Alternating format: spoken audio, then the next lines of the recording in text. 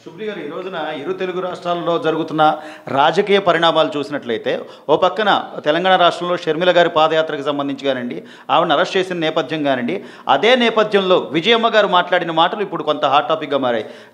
మరి ఒక మీ మీ కుమారుడు రాష్ట్ర ముఖ్యమంత్రిగా ఉన్నారు ఆవిడ సో సోదరుడు దీని మీద ఏమైనా స్పందిస్తారంటే అసలు జగన్మోహన్ రెడ్డికి ఆంధ్రప్రదేశ్ రాష్ట్రానికి మాకు సంబంధం ఏంటి అని అడిగే ఇదే విజయమ్మ గారు ఆనాడు బైబిల్ పట్టుకున్న నా బిడ్డకు ఒక అవకాశం ఇవ్వనండి అని ఆవిడ ఎలా అడిగారు నా జగనన్న వదిలిన బాణాన్ని అని చెప్పి షర్మిల గారు ఎలా చెప్పగలిగారు? ఇదంతా రెస్పాన్సిబిలిటీ లేదండి వాళ్ళకి ఆంధ్రప్రదేశ్ పరిస్థితుల మీద. రెస్పాన్సిబిలిటీ వైఎస్ జగన్మోహన్ రెడ్డి గారికి ఉందా?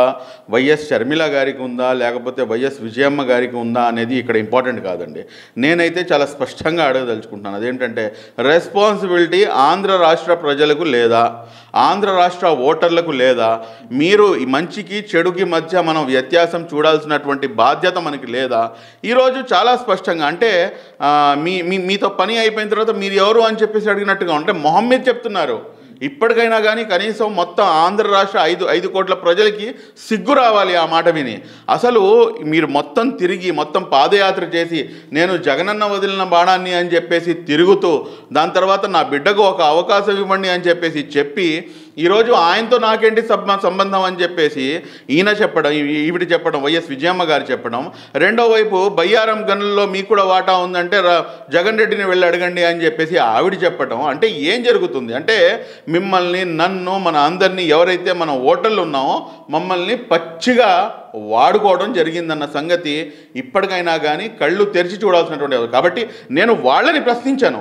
నేను ప్రశ్నించదలుచుకుంది కేవలం కేవలం కేవలం ఈ ఆంధ్ర రాష్ట్రంలో ఉన్నటువంటి ఐదు కోట్ల మంది. ఒకసారి ఈ రెండు విషయాలపై ఒకసారి మీరు దృష్టిని కేంద్రీకరించండి. మీకు రెండు వేల పంతొమ్మిది ఎప్పుడైతే ఓట్లు ఎలక్షన్లు జరిగినాయో ఆ సమయంలో అంత స్పష్టంగా ఆ మాటలు చెప్పి ఈరోజేమో మాకు సంబంధం లేదు అని చెప్పి చెప్తున్నారంటే ఇంకా దీనికైనా మించి ఇంకా మోసం ఇంకేమైనా ఉంటుందా అని చెప్పేసి ఒకసారి మనం ఆలోచన చేసుకోవాలి. శుభ్లి గారు చివరిగా ఈరోజు బీసీ గర్జన జయహో బీసీ అని రాష్ట్ర ప్రభుత్వం పెట్టబోతుంది జగన్మోహన్ రెడ్డి గారి ఆధ్వర్యంలో అని చెప్పి ఆల్రెడీ మన ప్రకటనలు చూసాం తేదీలు కూడా ఇస్తున్నారు.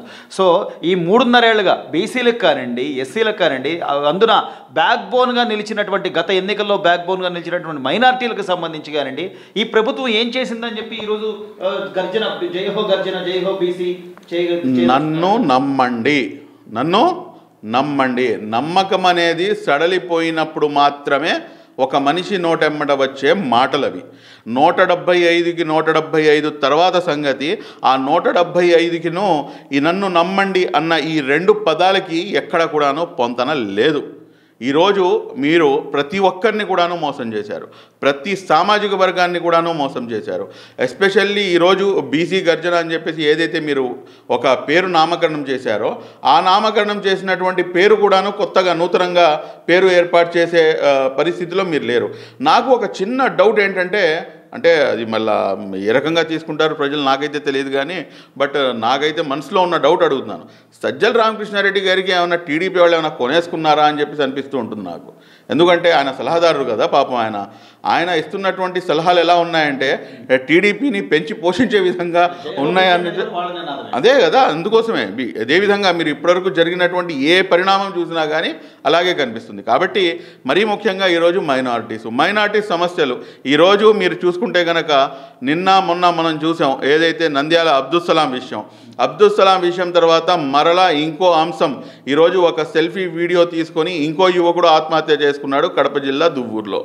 ఎందుకని చెప్పేసి న్యాయం చేయరు. న్యాయం చేయడానికి ఎందుకని చెప్పేసి వెనకడుగు వేస్తున్నారు? అంటే అధికారం రాకముందు ఒక విధంగా అధికారం వచ్చిన తర్వాత ఒక విధంగా. అధికారంలో ఉన్నప్పుడేమో అధికారం లేనప్పుడేమో అన్నీ మేము అసలు మీ మీ కుటుంబ సభ్యుడిని అని చెప్పి చెప్తారు. ఈరోజు కనీసం అధికారం వచ్చిన తర్వాత మీ అపాయింట్మెంట్ కోసం మీకోసం పనిచేసిన వాళ్ళు మీ అపాయింట్మెంట్ కోసం రాజశేఖర రెడ్డి గారి విగ్రహం దగ్గర ధర్నాలు చేస్తున్నటువంటి పరిస్థితి.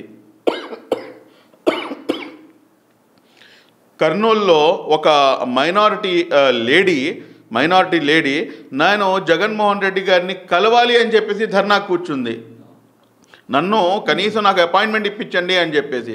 అంటే నీ స్థాయి ఎక్కడ నీ బతికి ఎక్కడ నువ్వెక్కడ అనేది ఈరోజు ప్రతి సామాజిక వర్గం కూడాను క్వశ్చన్ చేసుకోవాల్సినటువంటి అవసరం ఉంది. ఎందుకంటే అధికారం లేని రాజ్యాధికారం వైఎస్ జగన్మోహన్ రెడ్డి గారు కట్టుబెట్టారు. ఎందుకంటే ఈరోజు అధికారం అనేది ఎవరి చేతిలో కూడా లేదు. అధికారం అనేది టోటల్గా కేంద్రీకృతమైందని వీళ్ళందరూ కూడాను ఒక డాల్స్ అన్నమాట. వాళ్ళు ఒక బొమ్మల్లాగా ఆట బొమ్మలు తప్పించి ఇంకేమీ లేదు అన్న సంగతి స్పష్టంగా అర్థమవుతుంది.